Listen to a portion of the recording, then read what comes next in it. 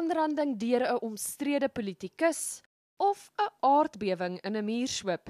Daar was gemengde reaksie op die video wat AfriForum vandag bekend gestel het.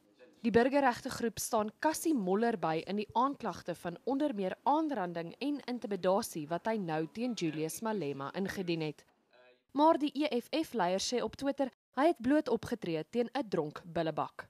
He stood at the door and witnessed the guy uh, basically insulting workers using uh, F words and K words. He went to him and said, You are not going to do that. Moller sê die mans, glo deel van Malema se groep, was redelik besope terwyl sy vrou kos bestel het, maar dat die atmosfeer tussen hulle gemoedelik was. So wat 'n kwartier gaan verby en die bestelling kom nie.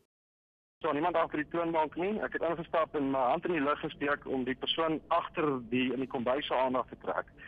En toe word ek van agter af deur Julius Malema, soos ek sê op my skouer geklap en toe begin die hele storie daarso. Die eerste woord wat hy my sê is who the f do you think you are? En toe sê ek vir my ek weet nie waar gaan dit nie. Ek probeer dit my geld of my bestelling kry.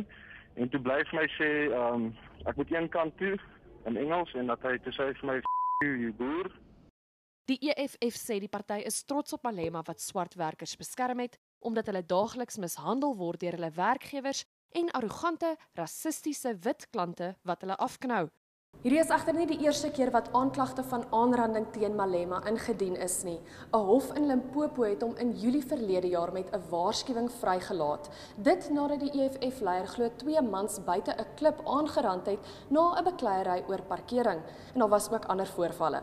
Ons weet van 'n meer onlangse insident waar iemand langs die snelweg rondgestamp was en hierdie insident ook. So dit lyk vir ons asof hy werklik aggressieprobleme het en en dat hy sy aggressie uithaal op op onskuldige Suid-Afrikaners. En dit is belangrik vir ons om sterk standpunt in te neem. Moller het aan Enies gesê hy sou graag met Malema wou gesels om die situasie te probeer uitklaar voor dit in die hof besleg word. Daniela van Heerden, Enies, Johannesburg.